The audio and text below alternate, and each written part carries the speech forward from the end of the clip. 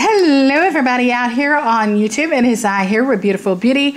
It is about that time again, you guys. Oh, yeah, it's time that the beauty blenders have all worn out. So it's time to buy another one. This time we bought the Real Techniques brand.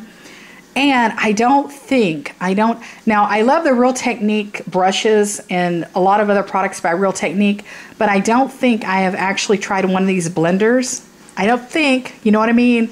But um, then again, what I know, I buy so much. So this is the Real Techniques base Miracle Complexion Sponge. So we're going to see how this works. Let me know, do you use this? Um, do you prefer it over the Beauty Blender or do you still love the Beauty Blender over the Real Techniques?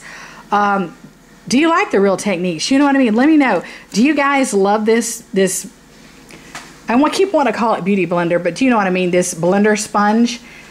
Uh, do you like it? Do you love it? How does it work for you? What are your tips and tricks? And, you know, um, how wet do you get the sponge? You know, how many times do you twist the sponge out? How much water do you leave in the sponge? How much uh, product, how much foundation do you put on the sponge? You know, any tips, any tricks, anything like that, let me know. And do you love this? Do you like it?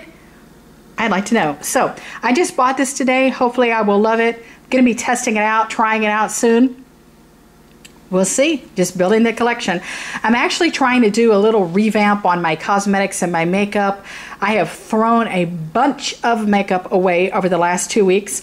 I had some things that were probably a little older than I'd like them or like for them to be, and I also had some things that were used that I just didn't like or I wasn't feeling or didn't care for. So, going to be trying to revamp my makeup, trying to get it, trying to still go towards more natural makeup, uh, you know, more organic makeup. I know that makeup has a bazillion chemicals in them, and sometimes it's very difficult to go that route or avenue. But um, yeah, I'm you know I'm I'm all about that. You know, and um, if there's maybe a natural BB cream out there or anything like that, a natural BB cream.